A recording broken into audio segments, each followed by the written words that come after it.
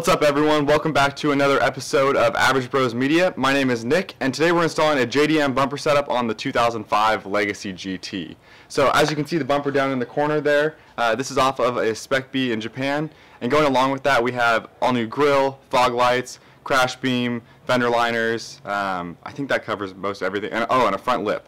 Um, so we're going to go ahead and walk through how to do that. Obviously the first step is getting all the old stuff off. Uh, Subarus are kind of like big Lego kits, so this should be interchangeable between some other Subaru models, and you have you give some idea of how to get your bumper off. So let's go ahead and get the car up. Uh, because we're putting new fender liners on, I'm going to go ahead and pull the front wheels off after putting the car on jack stands. Uh, so we're going to go ahead and get the car up on jack stands now. So like I was talking about, there's the two screws right here. They both have a Phillips style screw top, um, but they're also a, kind of a hex head, so using a socket's usually the easiest way to go on those. And then there's the two poppets right here. Uh, if you can't get under them with your fingernail, a flathead screwdriver will do the trick.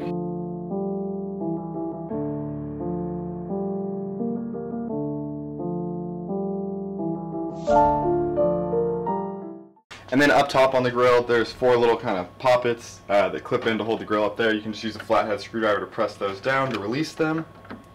And then once you've done that, the grill will pop right off. Okay, with the grill removed from the car, we're ready to start pulling the bumper. Uh, the bumper is pretty much attached all by poppets that run along the bottom front lip of it and then into the wheel wells. Uh, pretty simple to pull off. They can be a little tricky sometimes as they've gotten older or stuck. Um, I found that a flathead screwdriver and then a pair of pliers like these guys here that can actually wrap around that top piece and pull it out work really well. Uh, so I'm going to go ahead and fast forward through this uh, as we pull the bumper off and get ready for the new bumper to go on. So let's do it.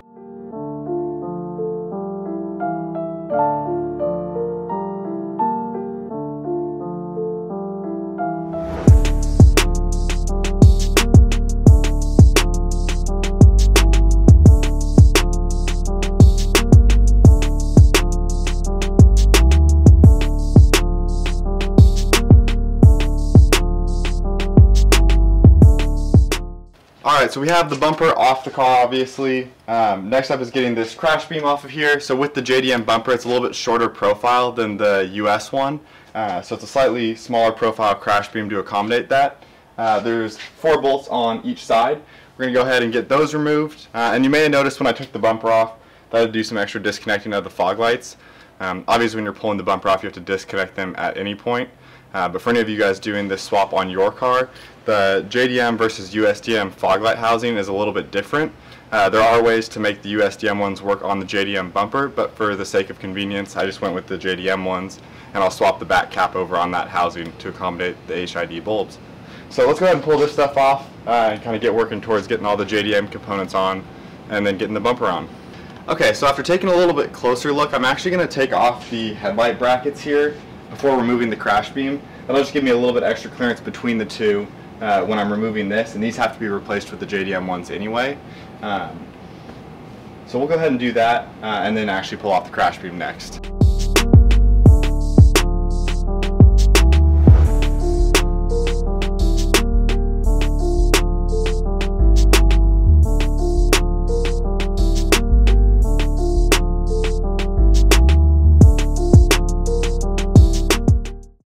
Okay, we have the headlight brackets off. I'm going to go ahead and pull the crash beam off. Like I said before, there's four bolts on either side there holding that crash beam on. Those are 12 millimeter bolts, so we're going to go ahead and pull those off. Uh, and then there's a few more smaller pieces we need to get off before we start going the other way and getting the JDM components on. Uh, so let's go ahead and get to it.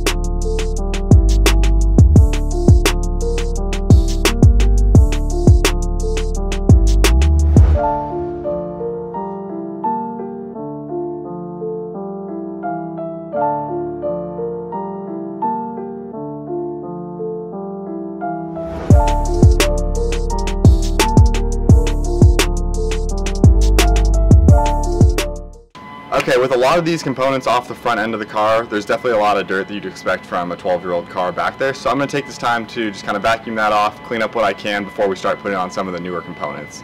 So let's go ahead and do that.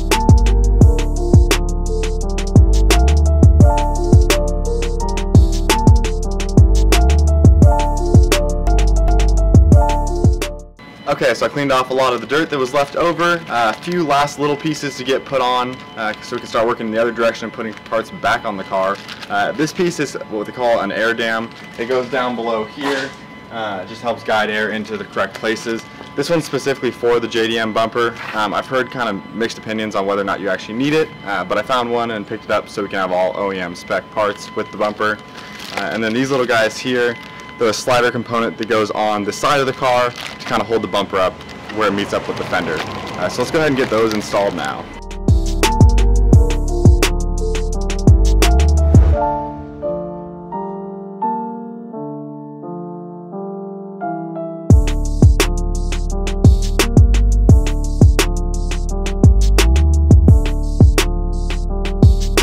Okay, so the last piece that we need to do, uh, that's the USDM component needs to be swapped out, is the fender liners. Um, so I'm going to go ahead and do that as much as I've been procrastinating it. Um, this air dam is the JDM piece, so this one's all reinstalled here.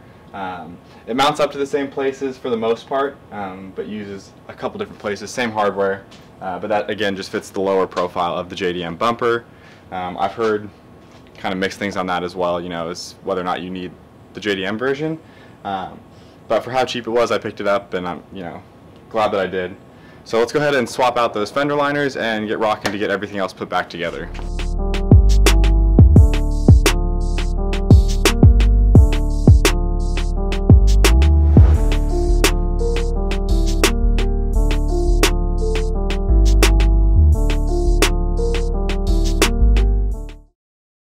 Alright, so we have the old fender liners out. I've sprayed down and wash the new ones. Um, well, they're not new, they're off of a used car in Japan, so I wanted to get all the dirt off those. While those are drying, uh, I want to go ahead and put the crash beam back on, put the light brackets back on, and start making some forward progress towards getting that bumper on.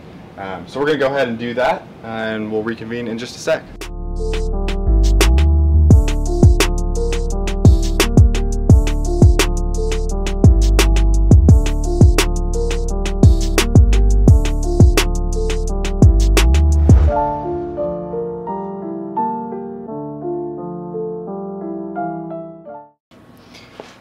Okay, so we just finished up getting the crash beam back installed as well as the headlight brackets. Um, so the front end should be good to go. Um, for anyone doing this job at home, uh, and if you're using those JDM brackets, there are a few less mounting holes than the USDM ones. Um, there's just not a spot for them, so I'm assuming that's not an issue. Um, but yeah, let's go ahead and we're going to look at getting the fender liners back installed and starting to look at putting the bumper back on the car. Alright, we are almost there. As you can see, we have the bumper sitting in front of the car. Um, all of the fender liners are back on the car uh, and the components up front. Fog lights are hooked up. So we're going to go ahead and get the bumper on, get that all buttoned up, and then throw the front lip on. So we'll go ahead and do that right now.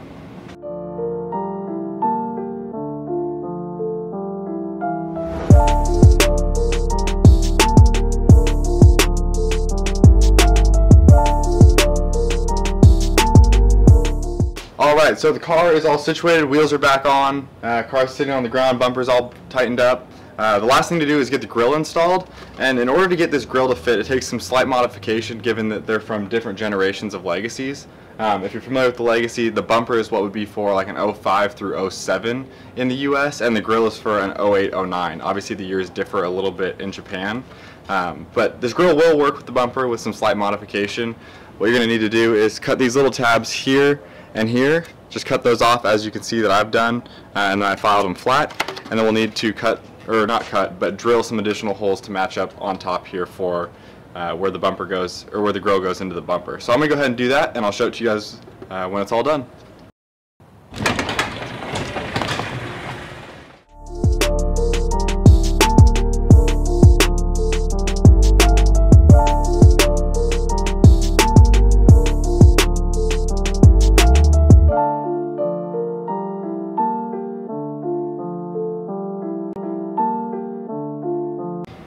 Alright, that is going to wrap up the install for the JDM Spec B bumper on the 2005 Legacy GT. I hope you found that install video helpful and enjoyed the content.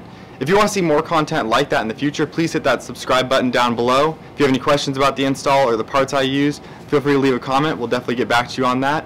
And as always, you can find us on Snapchat and Instagram at Average Bros Media. With that being said, thank you so much for watching, and we look forward to seeing you in the future.